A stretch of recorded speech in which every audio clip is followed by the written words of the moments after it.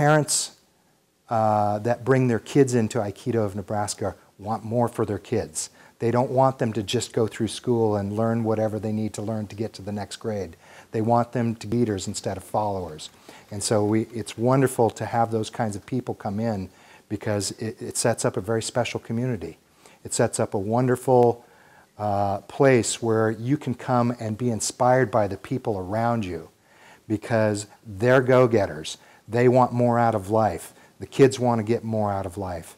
They want to get better at whatever they do. And so you're inspired to do better as well. Big arms, keep this arm round and strong. Okay, push off with your back foot, and you're going to go over your shoulder, not over your head.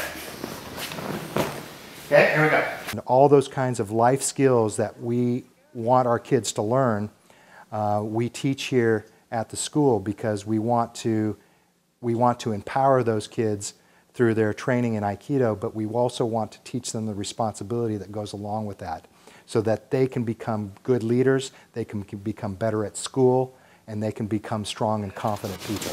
That's it. Very good. Well, one of the things that uh, is wonderful about uh, Aikido in kids is they love the training. They want to come in, they want to learn how to punch, they want to learn how to roll, they want to learn how to do their techniques. And so they start to see that learning can actually be fun. And then when they understand that learning can be fun and interesting and can get them the things they want in life, that translates directly over into school as well. And so uh, we routinely get uh, feedback from our parents saying, hey, uh, he's doing better, she's doing better in school now. Well, that happens because they love, they understand that this is school too, and school doesn't have to be tedious or boring in order to gain something out of it. And so they start to become